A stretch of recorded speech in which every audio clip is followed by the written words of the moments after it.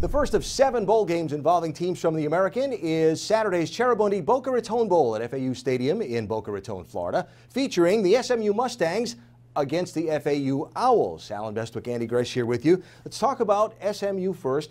10 and 2, first 10 win season since 1984. Mm-hmm. Sonny Dykes had him rolling. He did, and Shane Buechele, the transfer from Texas, came in, and Allen, he tore up the American Athletic Conference, had one of the best years in years a quarterback has had in the American.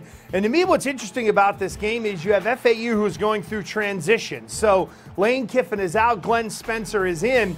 FAU gave up massive amounts of big plays, Allen. And I think SMU, Sonny Dykes and crew, they're going to be able to fling the ball all over the lot. FAU 10 and 3 won their second Conference USA championship in three years, but again, Lane Kiffin was the head man of that. He's gone to Ole Miss now, and this is a team that has some offensive firepower. Yes, they've given up yards on defense, right. but they score some points. There's no question, and that was SMU's bugaboo at times this year, Allen, was that they would give up some point totals. I guess the one good thing from the SMU perspective is if, you, if they need to score 45 to win 45 44, they can do so. If they need to score 50, they can do it. They can climb the ladder in terms of the point total, whereas I don't know if FAU has the ability to do the same thing. I could see FAU putting up 30. But SMU's got a chance, I think, to score 49 to 56 points. This is going to be big point total and a big day for SMU. Big opportunity. Mustangs wanted this bowl game. They're in it.